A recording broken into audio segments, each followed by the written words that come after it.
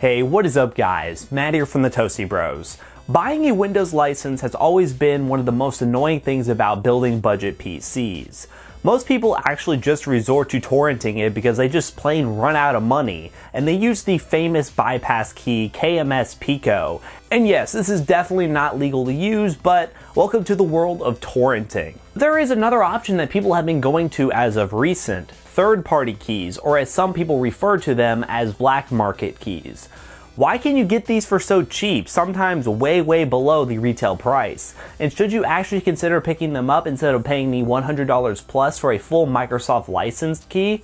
Let's talk about that after a word from today's sponsor. Want to see more content like this? Please consider supporting us on Patreon with rewards like custom roles on our Discord server and one-on-one build consultations. You also even get access to behind the scenes released content before it even goes live. Check the link down below to learn more.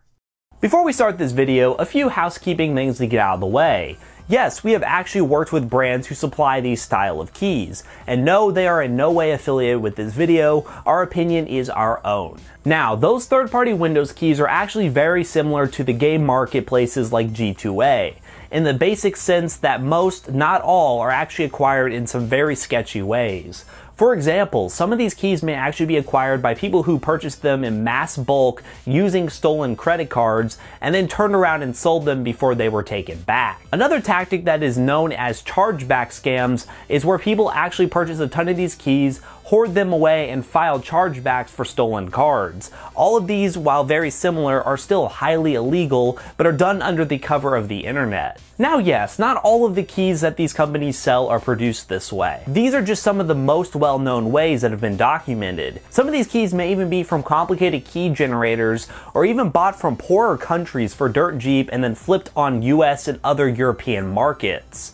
All of these ways are what result in a very overall sketchy marketplace and some hesitation from people. So what are the risks? Well, you are really at no risk of getting in trouble per se, but keep in mind, buying these keys cheap can be a risk based on how they are obtained.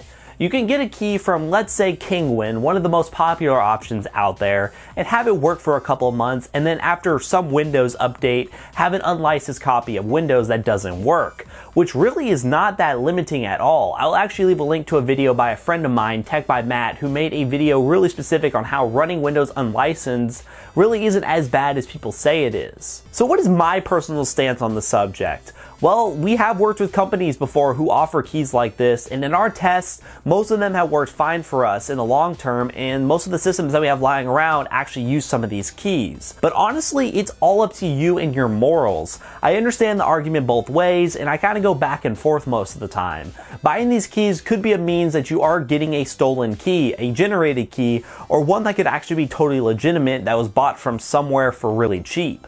But really, there is no way to attach the origin of these keys to the physical key itself. So I would approach these sites with a little bit of skepticism if you plan to buy a key. Most of the time, they will work but just understand that the price that you're getting it for indicates the possible risks involved. But hey, I know a good 60% of you are in the comment section right now saying just torrent Windows anyways. So there's that. That about wraps this video up here, guys. If you like this video, leave a like and comment robots down below if you made it this far. Also, consider subscribing and turning on those bell notifications to know when each video goes live.